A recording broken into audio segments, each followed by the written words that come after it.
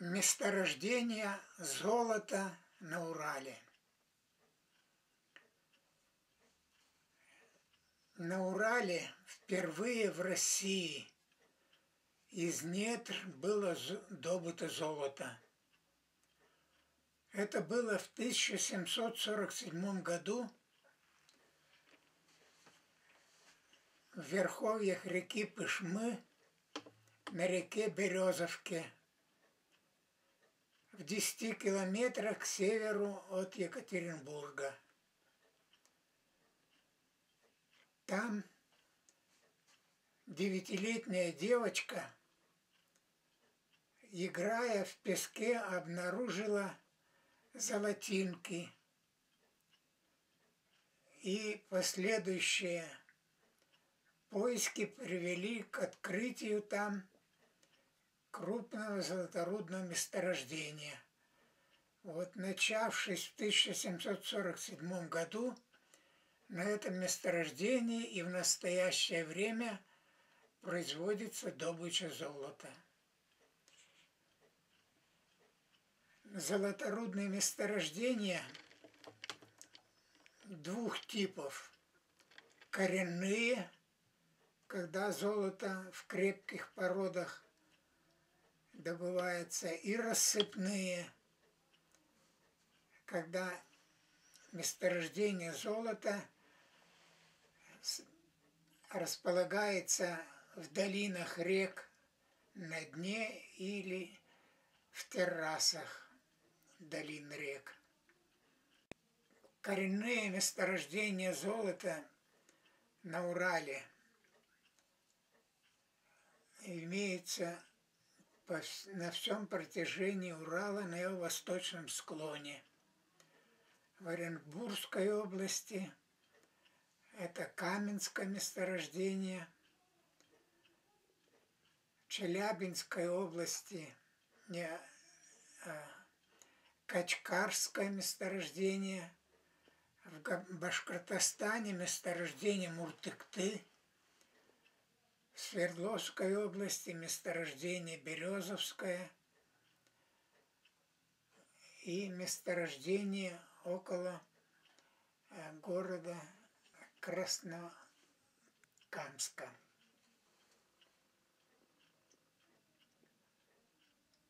Э, на полярном Урале э, ново, новогоднее манто месторождение – месторождения коренные золота представляют из себя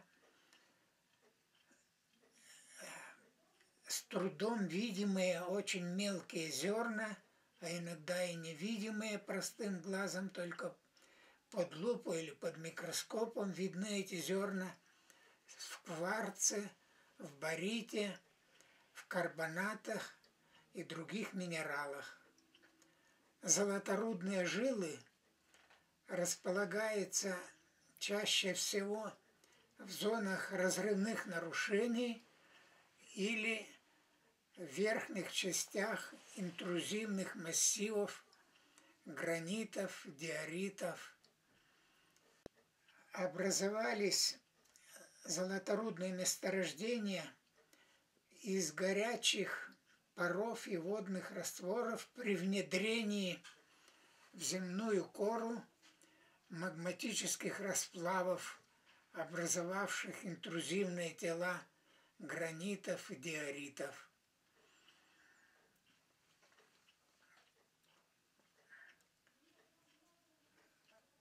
Рассыпные месторождения располагаются в долинах рек, обычно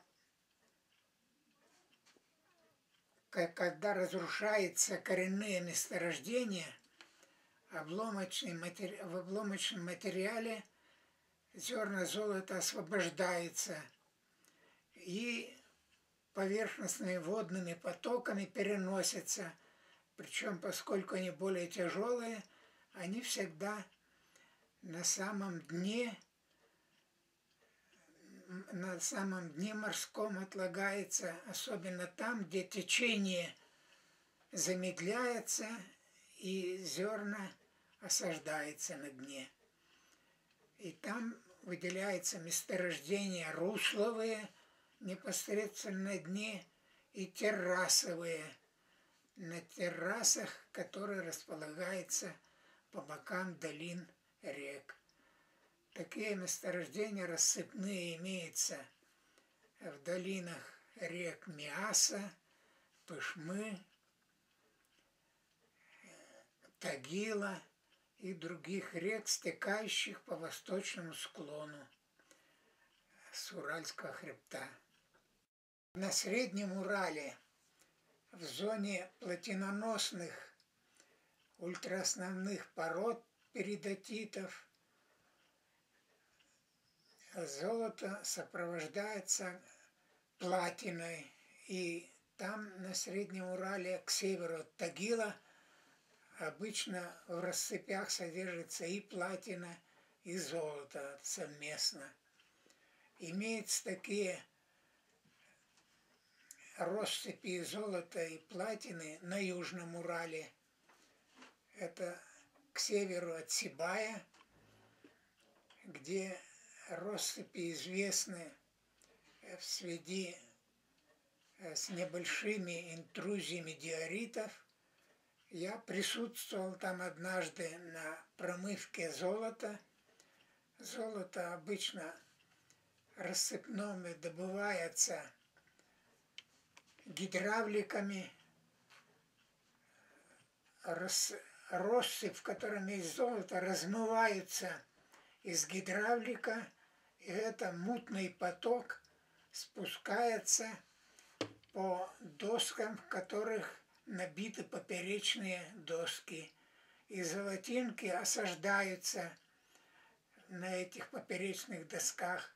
Вот при мне были извлечения золота, ну, такие самые крупные, старокана примерно были золотинки. Это было вот к северу от Сибая – километров, северо-запад километров 15. Ну и в Баймакском районе, в долине реки Баймак, россыпи золота имеется, начиная от Тубинска, Баймак, Бурибай и до впадения реки Таналык в реке Урал. Тоже везде имеется россыпи золота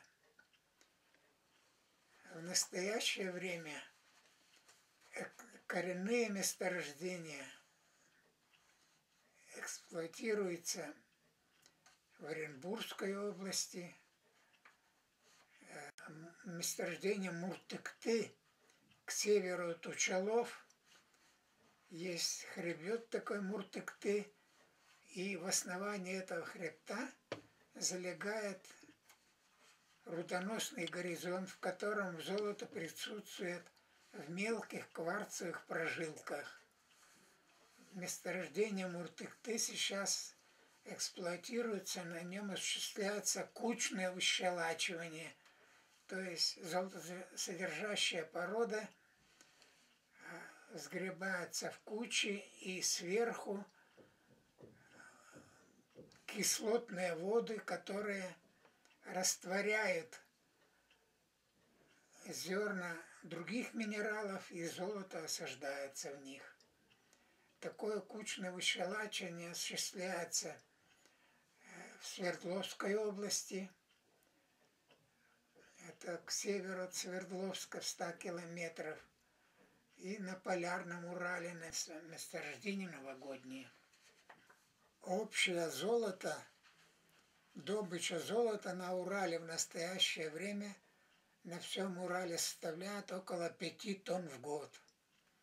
То есть Урал, несмотря на то, что он был самым первым регионом России, где началось золото, и он по-прежнему дает стране ежегодно около 5 тонн золота, включая все эксплуатируемые месторождения и коренные – и рассыпные на Урале.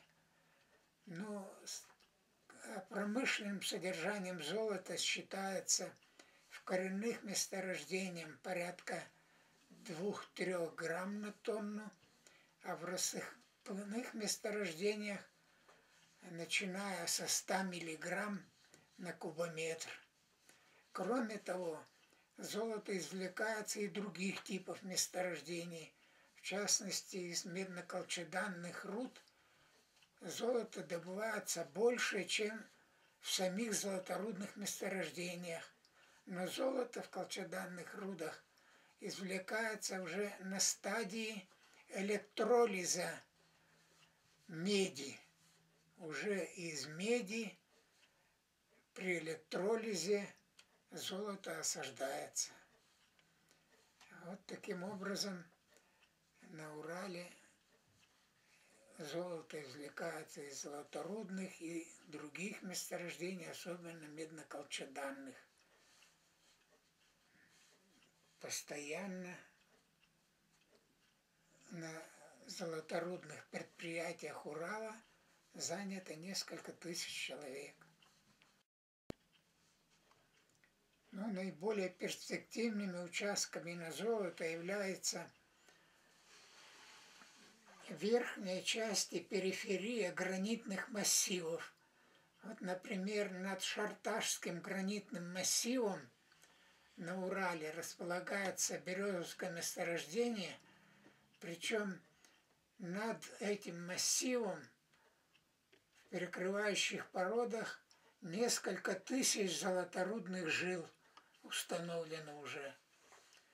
И также золоторудные месторождение установлено на других, на других гранитных массивах Мугаджарского, допустим, и Верхесецкого и других.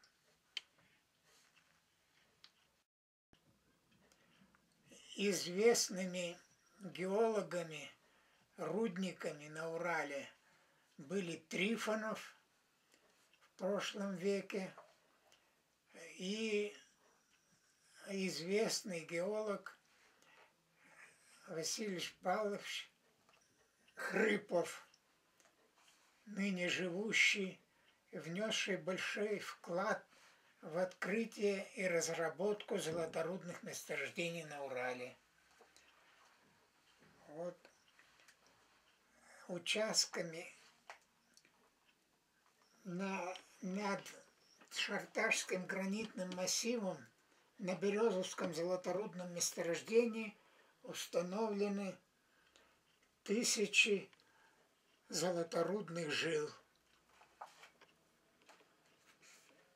И на Урале, особенно в Миасском районе, обнаружены самые большие в России самородки золота. Вот, например, самородок змея или самородок коралл. Самый большой самородок был найден в Миасском районе 13 килограмм.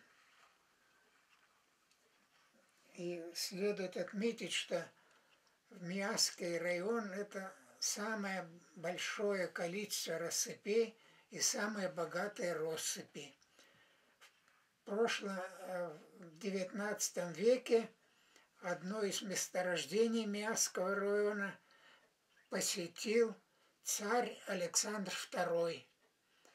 Он сам приехал на месторождение и, взявший лопату, занимался перелопачиванием рассыпей и лично обнаружил несколько грамм золота. На этом месте сейчас сооружен гранитный столб в честь посещения царя Александра золотых россыпей в Миасском районе Урала.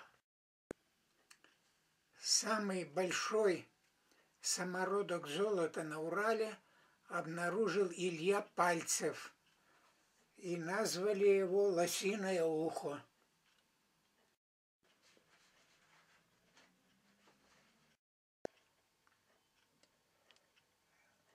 Вадим Николаевич Хрипов, руководивший поисками разведка золоторудных месторождений в Уральском геологическом управлении, позднее открыл крупное Воронцовское золоторудное месторождение. В настоящее время Воронцовское месторождение, открытое Хрыповым, находится в эксплуатации. Отрабатывается обширным карьером –